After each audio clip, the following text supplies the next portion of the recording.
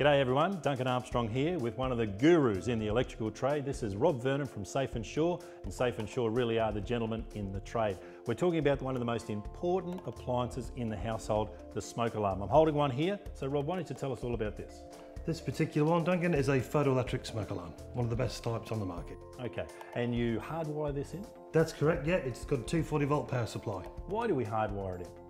Well, the power's there all the time and you've also got a backup battery so you're covered 24-7. Okay, so you have a power outage, because it's hardwired in, it's still, it's still going to work with a battery as a backup. That's absolutely right. Now, where do we place them in our house? We need them between the kitchen and the living areas and also within two metres of each bedroom too.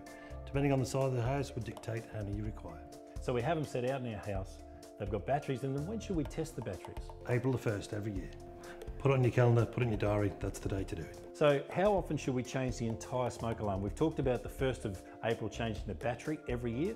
How often should we change the whole smoke alarm? It'll last up to 10 years and there's generally a date printed on the back of the alarm too. Okay, now I've been holding this the whole time. You're probably wondering what it is. Well, this is a tester. So you can get these from Safe and Sure. They'll send you one and basically you go straight up to the smoke alarm, you look at the testing button, you put your pointer on it and you give it a push until the alarm goes off. Now that is tested and you need to test the alarm every couple of months. So there you have it, the smoke alarms in a nutshell thanks to Safe and Sure, the gentleman in the trade, and just remember, this is the most important appliance in your house.